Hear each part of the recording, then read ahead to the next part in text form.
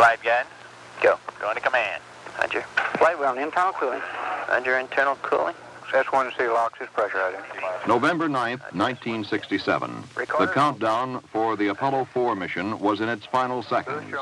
This was the first flight of the massive, complex Saturn V launch vehicle, which will one day start men on their way to the moon. Atop this rocket reaching 363 feet into the sky sat an unmanned Apollo command module scheduled for its most severe test yet. To the over 400,000 people who worked for this day, the Saturn V, with enough power to put 85 Mercury capsules into orbit at once, and its unmanned payload symbolized something more than the thousands of bits of data to be returned. The success of this mission would say, we're packing our suitcases and we're heading for the moon. Ignition detected. Roger.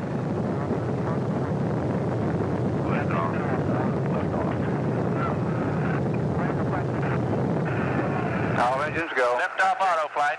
At liftoff, control of the mission switched to the Manned Spacecraft Center, Houston. All engines still go. Roger. Flight fighter, we're receiving data. Trajectory looks smart. Mark normal. 25. Mark 25, Roger. GNC, how are you? Go flight. EECOM? Go flight. Booster good? Go at this time. Status for staging, booster? Go flight. Fido? Go with all sources. Roger. Flight RSO green. Roger, green. Inboard out. Inboard out. Tower jet. Roger, booster, it looks like... Throughout the launch phase of the mission, Saturn V, the most complex of uh, all American launch vehicles, performed flawlessly, a tribute to the Marshall Space Flight Center, responsible for its design and construction. We're real good. Roger. Guidance, how about you? Looks good. Verify guidance. Initiate. Booster, you got a water valve? Fly water valve open. Roger. EECOM, how are you? Water boiler looks good, flight. Roger, spacecraft. GNC, how are you? It's good flight. The attitude systems agree. Roger. Flight to ground track is nominal. Roger, retro.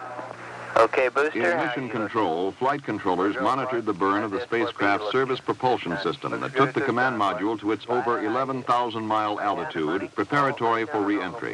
Guidance. For go flight. This view will be seen twice by the lunar crew, once while outward bound, again on the way home.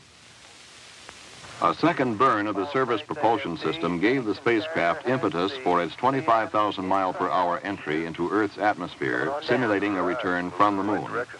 This was the most severe test yet of the heat shield, the barrier with a thickness of less than three inches that protects the spacecraft and crew from the 5,000 degree temperature of re-entry. The command module, after its unmanned flight, splashed down within sight of its nominal target point. Data analysis showed that it had actually entered somewhat faster than originally anticipated, and the heat shield more than stood up to this strenuous test. While the temperature on its surface exceeded 5,000 degrees Fahrenheit, the interior of the spacecraft never got above 70 degrees. One possible problem area on Apollo 4 was the vibration pattern of the Saturn V during the launch phase. A similar problem in the Gemini program with the Titan rocket had caused much concern until engineering changes had been made. At the Manned Spacecraft Center's acoustic and vibration facility, the vibration pattern of Saturn V, determined from post-flight analysis, was programmed into a computer-driven test vehicle. The object, to see if an astronaut could function properly during this stress period. The test subject, Gordon Cooper.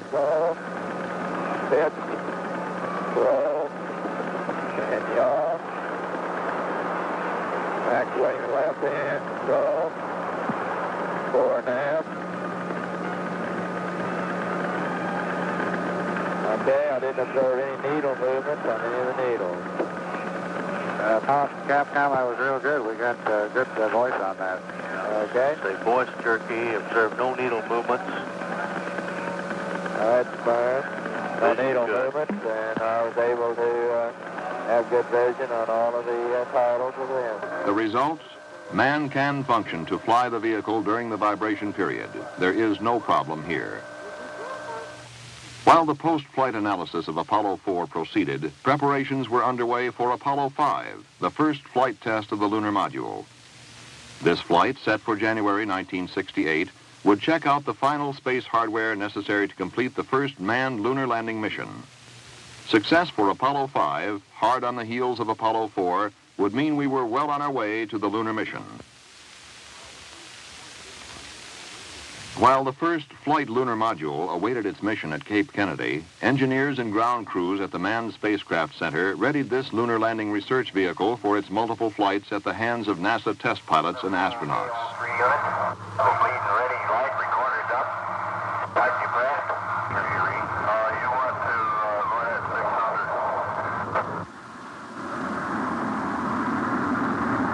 600. Free-flight prototype is the forerunner of the training simulator to be used to train astronauts to land on the moon.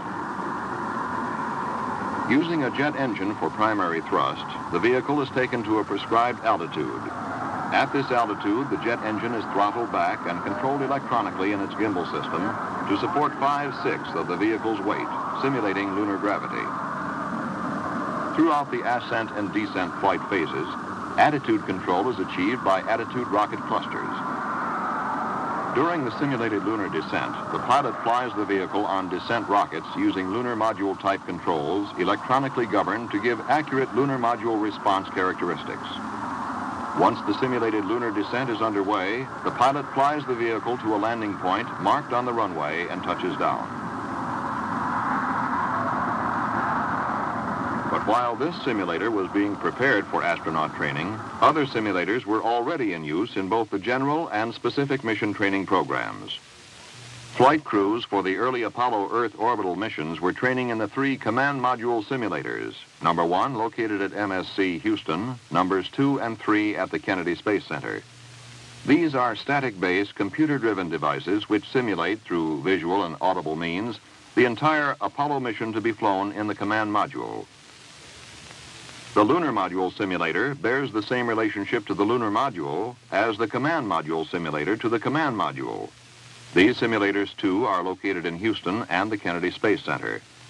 While the visual window projection systems were not fully operational, the vehicle systems could be actively simulated and flight crews as well as ground test crews were being trained.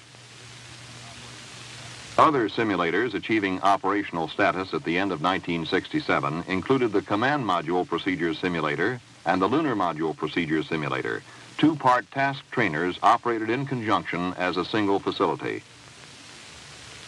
The Dynamic Crew Procedures Simulator is a hydraulically powered moving base trainer which duplicates the motions of the spacecraft during liftoff, re-entry, and other powered maneuvers. Crew stations of the command module and the lunar module can be interchanged, allowing maneuvers in both spacecraft to be reproduced by a single simulator. The translation and docking simulator, mounted on air bearings, features a lunar module crew station from which the astronauts practice docking with a mock-up command module for future Earth orbital and lunar missions. The water immersion facility is an underwater simulation tank in which training was conducted under neutral buoyancy, simulating weightlessness. The active inclusion of these simulators in the training program for Apollo missions denoted the nearness of manned flights. While the missions were readied and the crews were trained, engineers at MSC moved toward solutions of spacecraft problems. One of the most significant series of tests was the flammability study, Original spacecraft material was tested under spacecraft pad pressures and orbital pressures.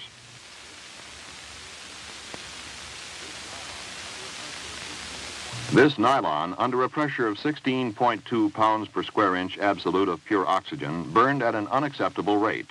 This duplicates pad pressure.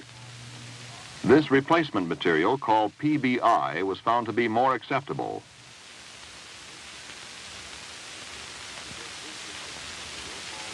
As was this replacement material called beta fabric.